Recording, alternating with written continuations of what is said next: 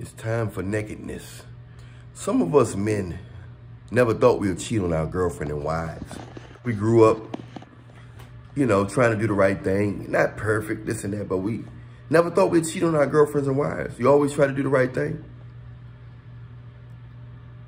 But it's almost like it's it's like it's not even evil.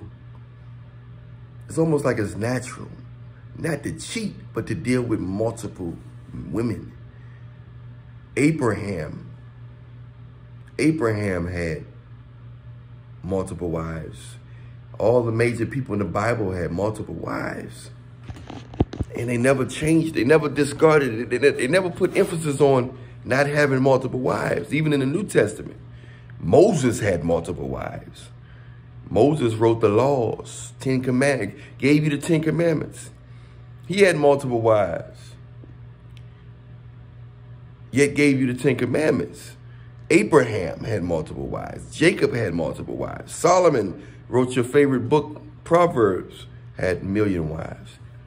No, I'm, I'm just saying it's just that in this new day and age, it just seemed like having more than one wife, making that normal, will solve a lot of problems and dysfunctions. Because in your mind, if your mind think something is bad, it can cause problems.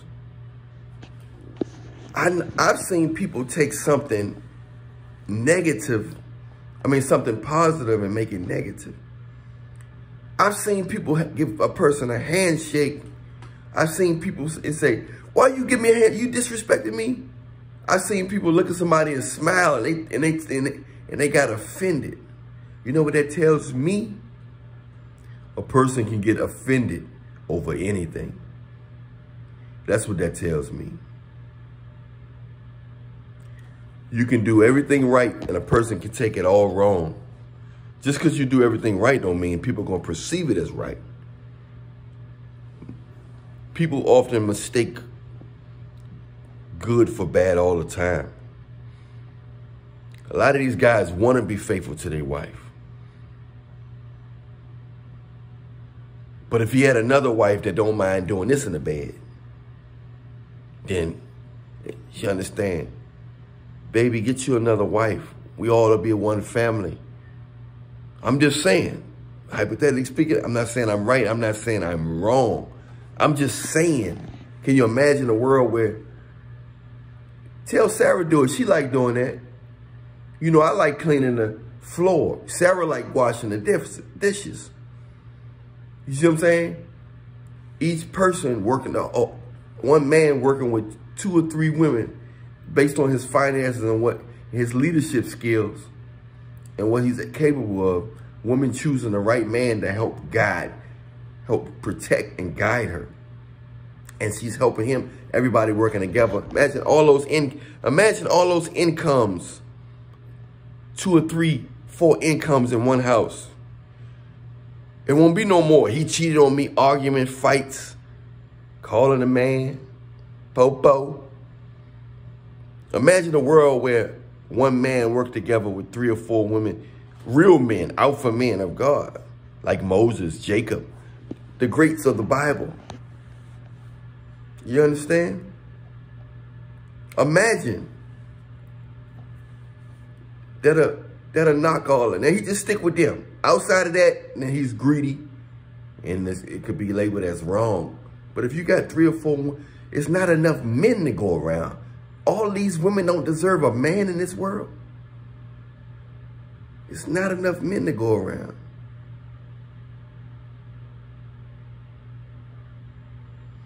All these women deserve to be lonely. Why you think they like guys who's already in relationships somewhere in their system might know it's okay.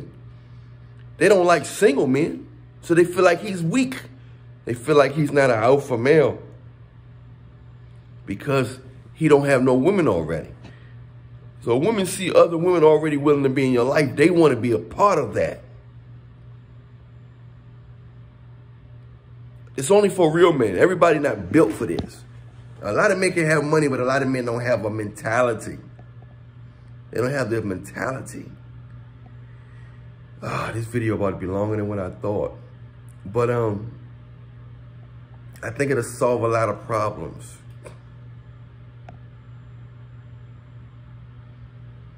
Think about it.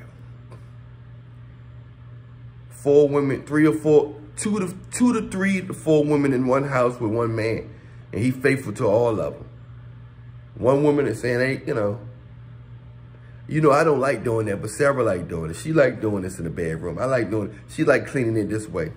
She like doing that for she, you know what I mean? She can do that better than me.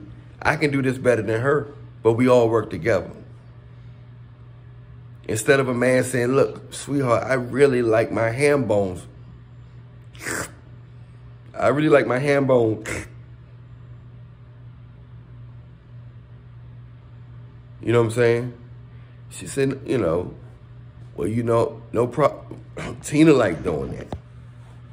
She, you know, Marie, Marie, she like massaging your back. She can massage your back better than I can. You like the way I kiss your forehead. You know what I mean? But it's not, every man not built for this. This is a special, man. It's a lot of men are, but every man not. Every man is not built for this. I'm talking about a man that's got the mentality, the heart, the soul that's connected with God that can protect and guide multiple women. That way, also, it won't put a lot of strain on a woman's body having a whole bunch of kids. For one, each woman have one or two kids. Two, four, six. Got six, six kids from three women.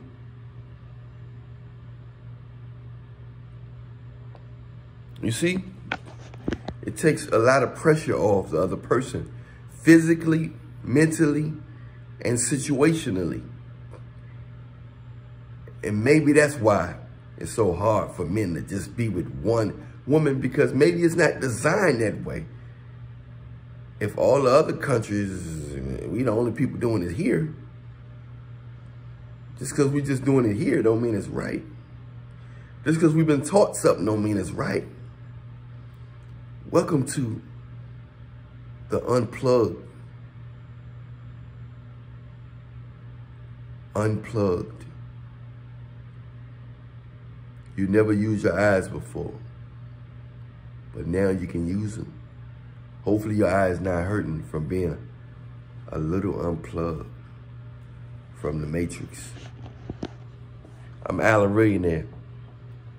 Everything you need is in the description box. Hit the like, subscribe, hit the bell. You want my latest book, The Blueprint, Man's Guide to Conquering Heartless, Selfish, and Controlling Women.